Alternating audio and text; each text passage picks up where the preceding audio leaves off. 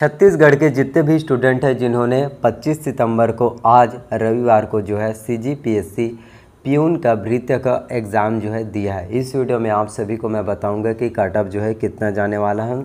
और category wise आप लोगों को कट ऑफ़ बताऊँगा। और आपको बताना चाहता हूँ कि इस बार जो है, पहली बार जो है चपरासी के C G P S C peon में भर्ती जो है निकला है इक्यानवे पोस्ट के लिए। और कैटेगरी वाइज आप लोगों को मैं कट ऑफ़ बताऊँगा कि जनरल कैटेगरी वाले स्टूडेंट के कितने नंबर में सलेक्शन होगा। ओबीसी कैटेगरी वाले स्टूडेंट का कितने नंबर में, एससी का और एसटी कैटेगरी वाले स्टूडेंट का कितने नंबर में जो है सिलेक्शन हो जाएगा। और आपका जो है कितना अंक आ रहा है वो भी चीज़ें मैं आपको बताऊँगा।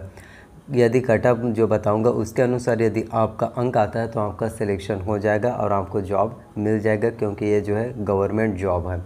और क्वेश्चन की बात करें तो क्वेश्चन जो है उतना ही एकदम कठिन तो क्वेश्चन नहीं था, बहुत ही आसान सा क्वेश्चन था तो कटअप जो है निश्चित तौर पर हाई जाने वाला। है तो मैं आप लोगों को कटअप बता रहा हूँ, जो कटअप बता रहा हूँ, उसको अच्छे से देखना, उतना ही कटअप जो है जाने वाला है। तो यदि आप जनरल कैटेगरी वाले स्टूडेंट हैं तो क्योंकि प्यून सीजीपीएससी में प्यून भर्ती परीक्षा में डेढ़ सौ प्रश्न जो है पूछे गए थे।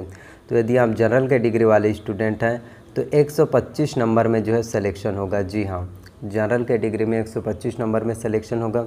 ओबीसी कैटेगरी वाले स्टूडेंट है तो आपको 115 नंबर चाहिए।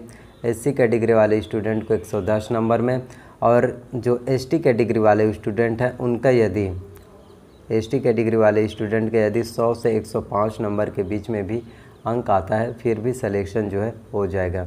तो जनरल कैटेगरी वाले स्टूडेंट को 125 नंबर लाना होगा और बीसी कैटेगरी वाले स्टूडेंट को 115 एससी कैटेगरी वाले स्टूडेंट को 110 और एसटी कैटेगरी वाले स्टूडेंट को जो है 100 से 105 नंबर के बीच में अंक लाना होगा। यदि आपका इतना अंक आ रहा है तो आपका आसानी से जो है सिलेक्शन हो जाएगा और आपको जो है गवर्नमेंट जॉब मिल जाएगा, क्योंकि आप लोगों ने देखा ही है कि सी जी पी एस सी भर्ती परीक्षा में जो है जो फार्मेसी वाले हैं इंजीनियरिंग वाले हैं पॉलिटेक्निक वाले हैं बी वाले हैं बड़े बड़े प्रोफेशनल कोर्स हो, चाहे नॉन प्रोफेशनल कोर्स सभी स्टूडेंट ने इसमें आवेदन किया था और इसके लिए एलिजिबिलिटी क्राइटेरिया कि आपके एट आठवीं पास था। लेकिन फॉर्म फिलअप की बात करें तो सभी लोगों ने इसमें जो है फॉर्म फिलअप किया था चपरासी के लिए। तो यदि आपका जो है डेढ़ सौ में से डेढ़ सौ अंकों में यदि 125 जनरल का, ओबीसी का 115 एससी का 110 और एसटी का जो है 100 से 105 नंबर आता है तो निश्चित तौर पर आपका सिलेक्शन हो जाएगा। और आप जो है छत्तीसगढ़ में जो है C G P S C peon चपरासी भृत्य आप जो है बन सकते हैं। इसमें सैलरी आपको अच्छा मिलेगा। आप ये मत समझना कि ये प्यून चपरासी का वैकेंसी से भृत्य का है। ये दूसरे चपरासी के वैकेंसीज की तरह नहीं है, जिसमें आपको सभी चीज़ें काम करना पड़ेगा। ये मंत्रालय का चपरासी का है, प्यून का है। तो इसमें आपको बहुत ही अच्छा सैलरी मिलेगा। देखिए, अभी के डेट में जो है कोई भी गवर्नमेंट जॉब छोटा या बड़ा नहीं होता।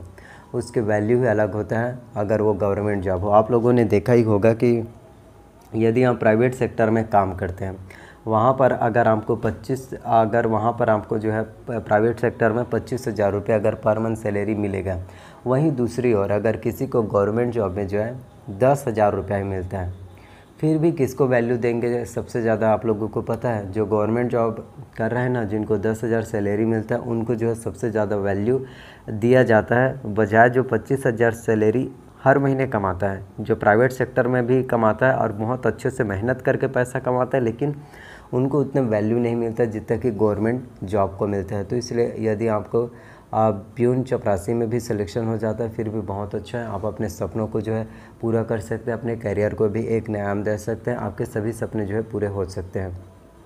तो यदि आप इतना नंबर आता है तो आपका सिलेक्शन हो जाएगा। बात करें C G P S C peon और इसके लिए जो है रिज़ल्ट रिज़ल्ट जो है कब तक जारी हो सकता है? तो आपको रिज़ल्ट के बारे में बताना चाहता हूँ। तो इसके रिज़ल्ट आने में लगभग आपको जो है 30 से 35 दिनों का समय लग जाएगा। यानी कि यह रिज़ल्ट आपका जो है नवंबर महीने के जो है फ़र्स्ट वीक में देखने को मिलेगा। इस समय जो इसका रिज़ल्ट जो है जारी नहीं होगा।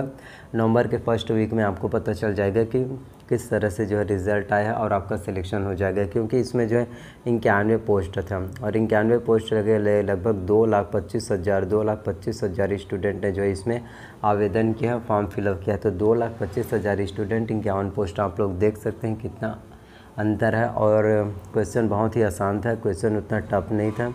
तो पहली बार जो है सीजीपीएससी में जो है प्यून चपरासी का भृत्य का वैकेंसी जो है निकला, इससे पहले जो है कभी भी जो है सीजीपीएससी के द्वारा प्यून चपरासी का भर्ती नहीं लिया गया। तो इतना ही जो है कटअप जाने वाला है। और छत्तीसगढ़ में जो है बहुत ही अच्छा new new government job vacancies आप लोगों को देखने को मिलेगा, चाहे वो सहकारिता विभाग में, समिति प्रबंधक और सुपरवाइज़र के। तीन हज़ार पोस्ट ही, क्यों ना तो आपको बताना चाहता हूँ कि तीन हज़ार पोस्ट जो सहकारिता विभाग में आपको समिति प्रबंधक और सुपरवाइज़र का आएगा, जिसमें समिति प्रबंधक के सत्रह सौ पोस्ट हैं और हर पाँच समितियों में एक सुपरवाइज़र का पोस्ट है। तो उसके लिए भी आने वाले समय में जो है आपका ऑफिशियल नोटिफिकेशन भी देखने को मिल जाएगा कि आप जो है उसके लिए आसानी से जो है फॉर्म फिलअप कर पाएँगे। आवेदन आप जो है कर सकते हैं।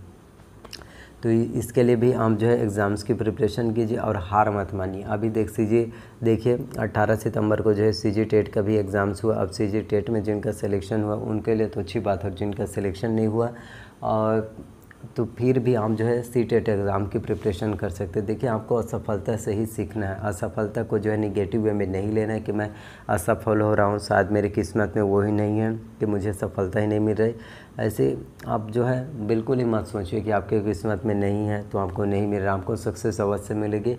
आप यदि बार बार आप असफल हो रहे हैं तो आपको फिर से खड़ा होना है, फिर से उठना है। और फिर वही जोश जुनून से आपको जो है मेहनत करना है हार्ड वर्क करना है अपना हंड्रेड परसेंट देना है, तब जाकर एग्ज़ाम जो है क्वालिफाई होता है। आपसे ये सोचेंगे कि एक ही बार मैं मेहनत करूँगा तो मुझे रिज़ल्ट मिल जाएगा तो ऐसा होने वाला बिल्कुल भी नहीं है। आपको बार बार जो है स्ट्रगल करना पड़ेगा, मेहनत करना पड़ेगा। तो मेहनत आप अच्छे से कीजिए, आपने, आपका सिलेक्शन जो है अवश्य रूप से हो पाएगा। तो प्यून चपरासी भर्ती परीक्षा में जनरल कैटेगरी वाले स्टूडेंट का 125 नंबर में ओबीसी का 115 एससी का 110 और एसटी का जो है 100 से 105 नंबर में सिलेक्शन हो जाएगा। तो यही कटअप जो है जाने वाला है। कटअप इससे हाई नहीं जाएगा, इतना ही कटअप जो है देखने को मिलेगा। और आप जो है अपने सभी डॉक्यूमेंट जो है डीवीसी जब डॉक्यूमेंट वेरिफिकेशन होता है, दस्तावेज़ परीक्षण सभी डॉक्यूमेंट आप अपना रेडी रख सकते हैं।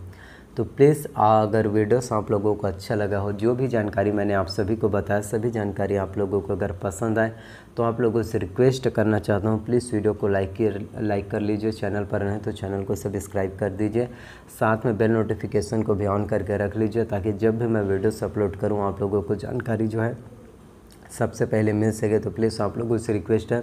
वीडियोस को ज़्यादा से ज़्यादा लोगों तक जो है शेयर कीजिए। बाकी स्टूडेंट को भी वीडियोस को शेयर कीजिए ताकि उन्हें भी अच्छे से जानकारी जो है मिल सके। और प्लीज़ आप लोगों के लिए मैं इतने मेहनत से वीडियोस बनाता हूँ।